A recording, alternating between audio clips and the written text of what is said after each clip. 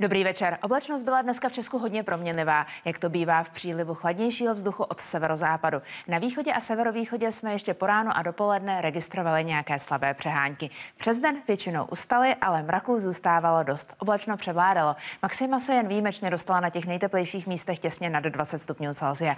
Víkend a počátek příštího týdne bude o nějakých 12 stupňů Celsia teplejší. Nejdřív tedy slibovaný víkend, teploty se v sobotu dostanou na 21 až 25 stupňů. V Čechách ale může být až 27 stupňů Celsia. Ještě teplejší bude neděle. Teploty v Čechách i tropické až 30 stupňů. Neděle se tak v Čechách může stát prvním tropickým dnem roku 2017. A jen pro představu, tak teplo, jako by mělo být v sobotu, u nás bylo naposledy 2. října, tedy před skoro 8 měsíci. A tropické teploty, podobné těm, které čekáme v neděli, ty byly naposledy v polovině září před 8 měsíci a 9 dny. No a co je toho příčinou?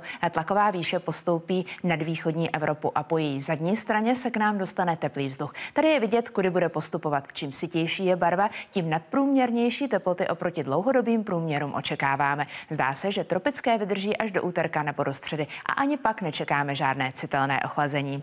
Zdá se, že se teploty pořád budou držet kolem letních 25 stupňů a, a přibude přeháněk a taky bouřek. To proto, že tlakovou výši vystřídá málo výrazná brázda nízkého tlaku vzduchu. Letní, potažmo tropické počasí bude lákat k vodě. Její teplota v přehradách se pořád drží do 20 stupňů Celsia. V dalších dnech ale poroste. Teď nejchladnější je Lipno z 15 stupně, naopak nejteplejší Nechranice z 20 stupňů Celsia. A podobně teplá voda bude třeba i v Chorvatsku, na Istrii, i kolem Kréty. Nejteplejší je tradičně východní středomoří. Kypr 22 stupňů Celsia. Chladné je pořád Černé moře, ve Varně má jen 16 stupňů Celsia. A ještě jedna důležitá věc, pokud se o víkendu budete opalovat, čekejte, že to půjde stejně rychle, jako kdybyste byli třeba na jihu Itálie, ve Španělsku nebo na severu Afriky. Ozonu bude i o 20% míň a tak už po 20 minutách bude pokožka na slunce reagovat. Obvykle se u nás v této roční době pohybují hodnoty UV indexu v nížinách kolem 6 nebo 6,5.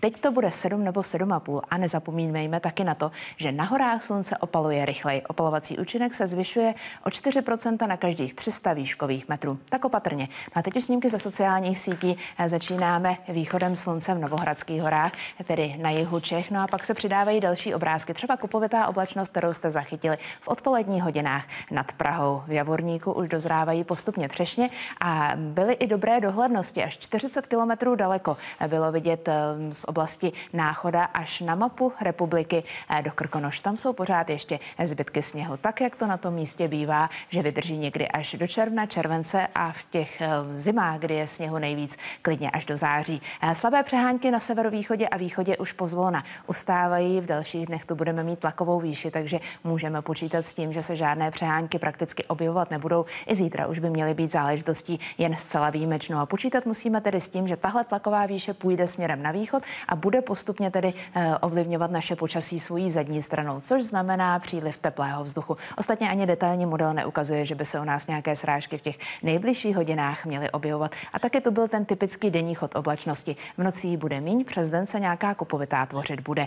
Biozátěž zůstává na jedničce, ráno bude relativně chladné, teploty 9 až 5 stupňů Celsia. Oblačnosti bude ubývat na polojasno a nebo skoro jasno. Zítra přes den 20 až 24 stupňů, převládající polojasno. Přes den může být přechodně až oblačno a přehánky jen zcela výjimečně. Vítr severní, severovýchodní, průměrná rychlost kolem 4 metrů za sekundu. Tady už je slibovaný víkend, v sobotu v Čechách tedy do 27, v neděli dokonce do 30 stupňů Celsia. Rána zůstanou ale chladnější, pořád 9 až 5, respektive 10 až 6 stupňů Celsia. Sobota, neděle bez deště, bez přeháněk. První bouřky se pravděpodobně objeví v pondělí a na některých místech můžou být i intenzivní. Teploty 27 až 31 stupňů a nejteplejší zřejmě úterý s maximy kolem 30 stupňů Celsia nejčastěji. Teď už události.